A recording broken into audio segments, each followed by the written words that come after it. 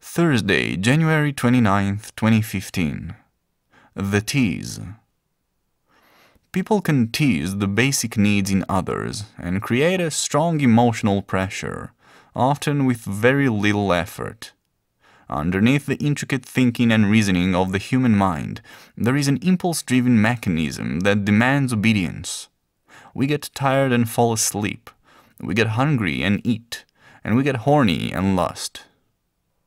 I have recently had two instances of girls teasing me either to enjoy my company or to use me for their own personal interest. The first appeared friendly enough. I liked her vibe and decided to send her a personal message. We started talking, sharing a bit about ourselves.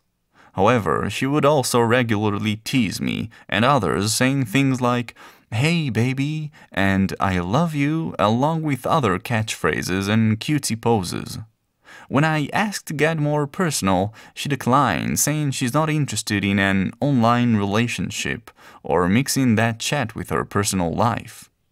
Not surprisingly, I later learned from noticing her behavior and asking questions that the reasons she gave me were lies and did not actually apply to everyone she did indeed become more intimate with other guys from the chat, and that she has a record of guys just falling for her for no reason. Yeah. The second girl was also nice enough at first. I actually did not have much interest in her until she asked me to see if I can find more information about her online, to see how vulnerable she is to hackers. This, being quite a task, hinted to me that she is interested in me finding her out, like a game. So I did, and later on I found her Skype and we got talking.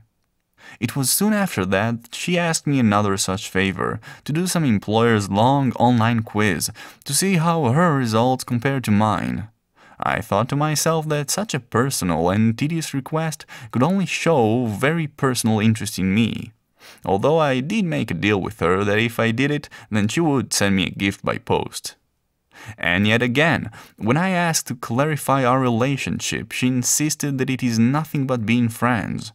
I pointed out her unusual requests, and she appeared surprised that I saw things that way. She apologized, only to continue teasing, making requests, and eventually lie about me to a friend and put me in a bad light. Yeah. A tease will display sexuality and cause a yearning lust in potential mates. This yearning makes others become increasingly interested in the tease, wanting to make a good impression. At this point you might think, what's so wrong with that? Or, are you calling me a slut? A tease and a slut are two different things. A slut actually follows through on his or her teasing. A tease, however, while being sexually explicit and even friendly and intimate, will never gratify those sexual needs. And that is why a tease is so much worse. You might hate a slut for using you sexually, but you will not feel the emotional compulsion that teasing brings.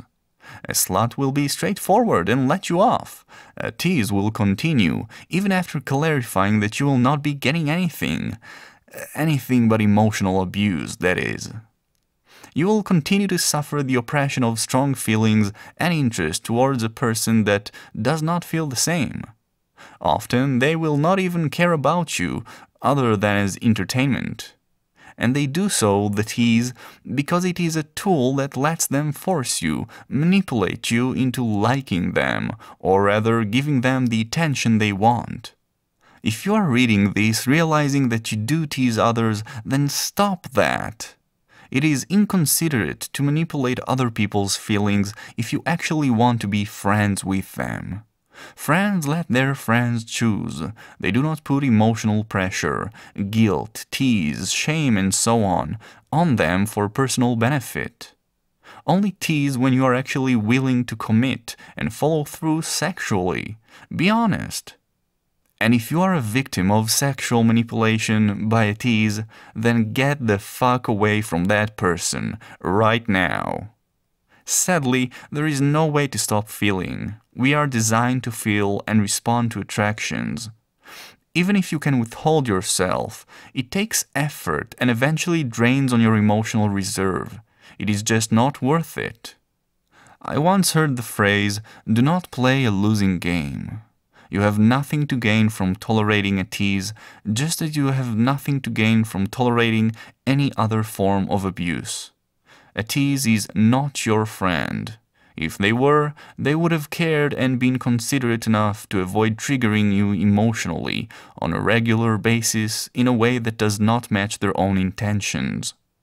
Keep your eyes open and do not hesitate to catch a tease in action and tell them off.